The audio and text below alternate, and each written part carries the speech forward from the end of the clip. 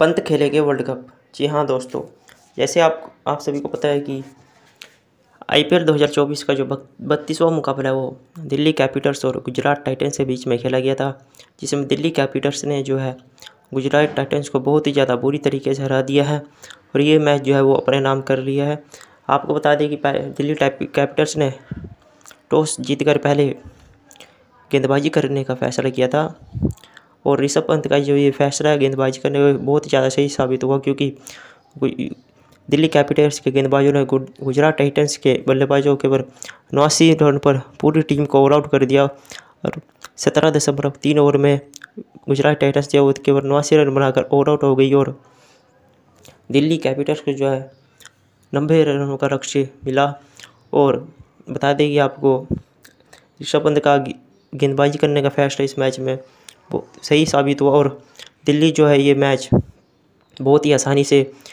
छः विकेट की एक बड़ी जीत के साथ ये मैच जीत लिया है। और दिल्ली कैपिटल्स ने केवल आठ दशमलव पाँच ओवर में ये टारगेट चेस कर लिया और उन्होंने बानवे रन बनाए, चार विकेट के नुकसान पर आठ दशमलव पाँच ओवर में और ये जो मुकाबला है ये ऋषभ पंत की टीम, कप्तानी वाली टीम जिसकी वो कर रहे हैं दिल्ली कैपिटल्स की, ये मुकाबला उन्होंने अपने नाम कर लिया और बता दें कि इस मैच के जो प्लेयर ऑफ़ द मैच रहे है वो ऋषभ पंत रहे जी हाँ दोस्तों, जो प्लेयर ऑफ़ द मैच का जो अवार्ड मिला ये ऋषभ पंत को मिला है और क्योंकि इससे पहले फील्डिंग के टाइम पर ऋषभ पंत ने पहले तो अपनी कीपिंग के जलवे बिखेरे और उसके बाद जो